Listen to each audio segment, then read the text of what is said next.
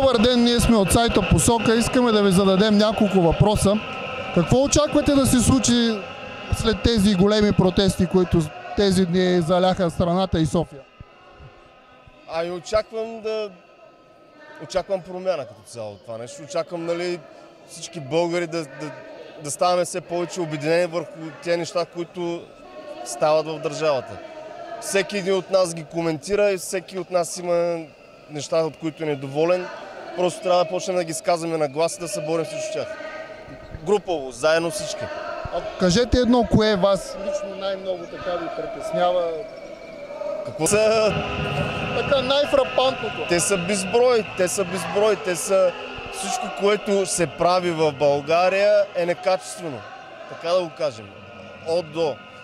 От последен пример е, че ние сме единствената държава, в която не получихме помощ в, е, е, в пандемията. Тия два месеца, които много хора бяха, останаха без работа, те не получиха помощ. Очаквате ли Бойко Борисов да подаде всъщност оставка и Не знам.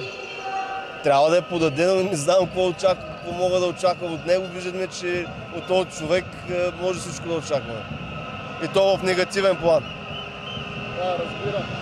А, ако, ако подаде оставка след това, оттам на къде, какво правим? Оттам, а, оттам който и да е, трябва народа да го контролира. Само чрез... А, наистина демокрацията значи демокрацията значи народа да управлява. Не може от 7 години, последния протест да е преди 7 години, това значи, че до сега държавата се е управлявала на автопилот и в ня... доказа своята неефективност по отношение на основни, основните точки и казуси, които споменахме към момента. И а, аз не виждам начин и, и а, а, не виждам посока тези проблеми да бъдат а, решени от тях. А не липсва според мен и политическото желание, което е а, още, по, още по-тревожно. Конституцията има интересни казуси, които се пораждат, като например дали ще остане православието основна религия в България. Вие какво мислите по този въпрос? Би следвало да остане. Не съм запознат точно с тези промени, но би следвало да остане. Да остане.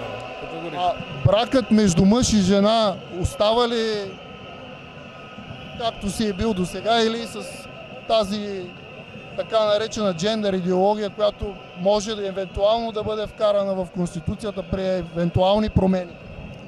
Питате ме за моето мнение или дали може... А, ми, аз мисля, че нормалните човешки взаимоотношения до сега би следвало да останат и би следвало да ги следваме. Бракът трябва да е между мъж и жена. Тези, а, както споменахте вие, джендърски влияния и а, нови насоки като цяло, а, модерни насоки в Европа, в Америка, това е, може би, част от неолибералния модел, който, чието крах виждаме в момента и чия, чия, чиято неефективност. А, с- има, забелязва се една склонност да, пое, да, да приемаме от а, модерните тенденции и така по-порочните тенденции, а, по-модерните тенденции от, а, от, от Запада и от неолибералния модел, а не се замисляме над тях. Това е първата стъпка към, една към едно де- демократично управление и справедливостта. След това вече ще разгледаме наказуемостта, а тя трябва да се разгледа естествено, но на, първи, на първо време искаме справедливост. А какво мислиш относно концесиите, които България е отдала на чужди държави и фирми, от които печелят милиарди и за България почти нищо не остава? Не знам достатъчно по въпроса, че да формулирам мнение. Какви са очакванията ви за протеста? Какво очаквате да се случи? Очаквам този протест, започнал спонтанно преди 10 дни, да постигне своят политически успех, т.е. оставка на правителството. Може би няма да е днес, може би няма да е и утре, може би ще е към края на другата седмица, но твърдо нещата вървят към успех. А достатъчно ли е само Борисов и кабинета да падне? Не, разбира се. Това е големия проблем. И много от хората тук поставят въпрос. Какво правим след като Борисов падне? Сега, тук вече имаме различни отговори на този въпрос. Моя отговор е, че трябва да съградим основите на бъдещата трета република на Третата българска държава. Трябва да има безспорно нова конституция и ново разделение на властите. Искания на протеста, които са така по-общи. Кои? Ами справедливост, бъдеще за младите. Не, справедливостта и бъдещето за младите са като пожелания добър ден. Нали?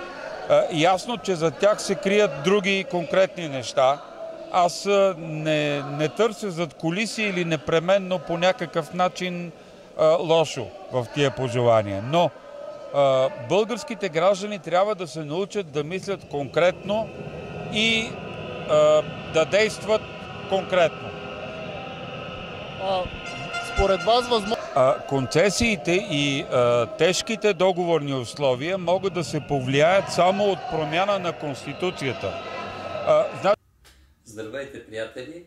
Сайта Посока започва своите видеорепортажи от протеста, в които ще се опитаме да изясним кои са основните искания на протестиращите, както и да дадем по-задълбочени разяснения относно картината, която се стремим да видим в България след оставката на правителството на Бойко Борисов. Очевидно е, като гледаме тези първи репортажи, че българските граждани настояват да бъде запазена традиционната религия, православието в Конституцията, бракът да си остане традиционен между мъжа и жената, формулиран така в Конституцията. И не са съвсем ясни така много настойчивите искания тази Конституция да се променя. Не е необходимо да бъдат спрени вредните за страната концесии, чрез конституционна промяна. Всъщност става въпрос, това, което искат българските граждани е едно по-добро управление, което в крайна сметка ще зависи от хората, които ще бъдат подбрани във властта.